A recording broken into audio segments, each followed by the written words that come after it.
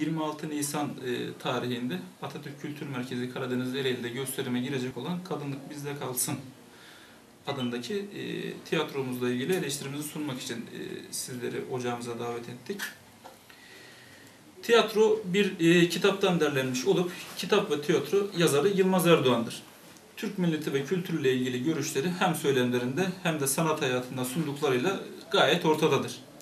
Yarın yayınlanacak olan tiyatro, Saradat altındaki rezalet, milletimizin ve tarihimiz ile derdi olanların ortaya çıkardıkları bir çalışmanın ürünüdür. Dini gerekliliklerimizin ötelenip değiştirildiği, günahların sevap gibi sunulduğu, yozlaşmanın arşa ulaştığı, ayrıca milli tarih ve geleneklerimizin her fırsatta darp edildiği, Türklüğe darbe vurulmaya çalışılan bu dönemde bizler ülkücüler olarak gönlümüzdeki dini ve milli hassasiyetler ile bu alçak zihniyete karşı mücadelemizi her platformda devam edeceğiz. Neredeyse her cümlesinde ve aslında tiyatronun ana fikrinde dini ve milli tarihimizle ilgili alay eden, tiye alan bu rezil tiyatro bu şehirde oynanmamalıdır. Bu konu hakkında tüm yetkilileri, sivil toplum örgütlerini göreve davet ediyorum. Yarın ülke ocakları olarak biz orada olacağız. Tiyatroyu biz de izleyeceğiz. Ve bu rezalete kesinlikle karşı çıkacağız. Tiyatronun içeri, içeriğiyle ilgili bir iki bilgi vereyim istiyorsanız sizlere. Bu e, tiyatro kitap üzerinden derlenmiş olduğundan dolayı kitabın içerisindeki bazı kısa kısa notları biz teşkilatlarımız e, suretiyle aldık.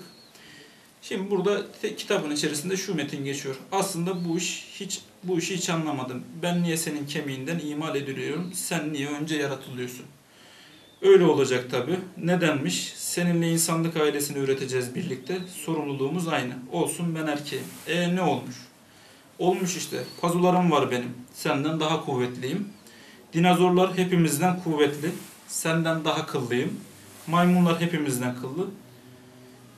Burada biraz daha argo tabirler kullanmış. Bunu sizlerle paylaşmayayım. Bu şekilde cevap veriyorum. Burada e, az çok tasnif ettiği şeyler e, Hazreti Adem ile Hazreti Havva, Havva annemiz e, yani bu şekilde e, dini ritüellerimizle ilgili e, bir alay konusu var.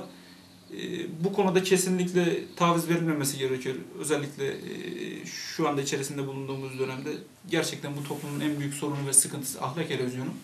Bunlar da bizi her geçen gün bu ahlaksızlığın, e, ahlak erozyonun içerisine sürükleyen adı sanat olan ama kime ve neye hizmet ettiği belli olmayan faaliyetlerdir. Devam edelim. E, Fatih Sultan Mehmet Han Hazretleri'nin e, İstanbul'u fethiyle ilgili e, bir e, tiye alınması geçiyor yine tiyatronun içerisinde.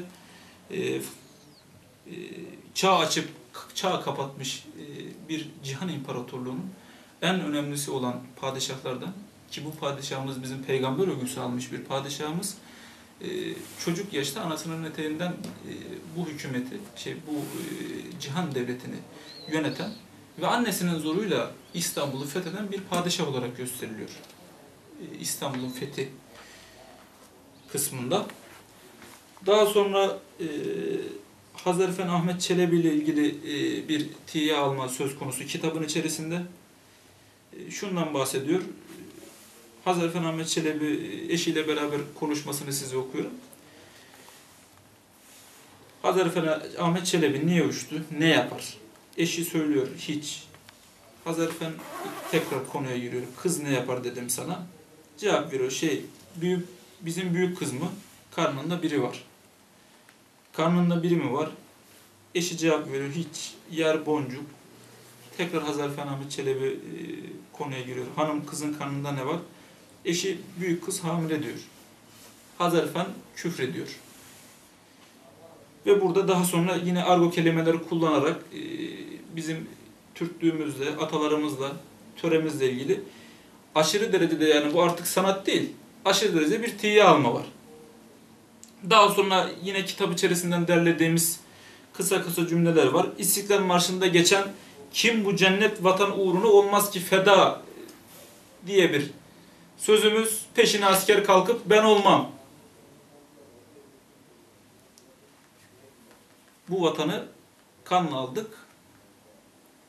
Ama işte durum ortada. Ben olmam. Belli demek ki onların ataları olmamış. Ama bizim atalarımız oldu. Ve biz bunun peşini de bırakmayacağız. Devam ediyorum. Finale 3 tane kızımız kaldı. Birazdan padişahın huzuruna çıkacak. Bakalım padişahımız hangisini götürecek? Haremde güneşli bir hava var. Argo kelime içeren bir şey daha yine bu ahlaksızlık varan boyutta. Tiye alınarak ya bu sanat değil yani kesinlikle sanat alakası yok. Şu söz geçiyor eserde. Ne demiş atalarımız? Bir Türk dünyaya bedeldir. Tamam da atalarımız bu lafı ettiklerinde dünya nüfusu bu kadar kalabalık değildi. Böyle mantıksız atasözlerinin zamanı çoktan geçti.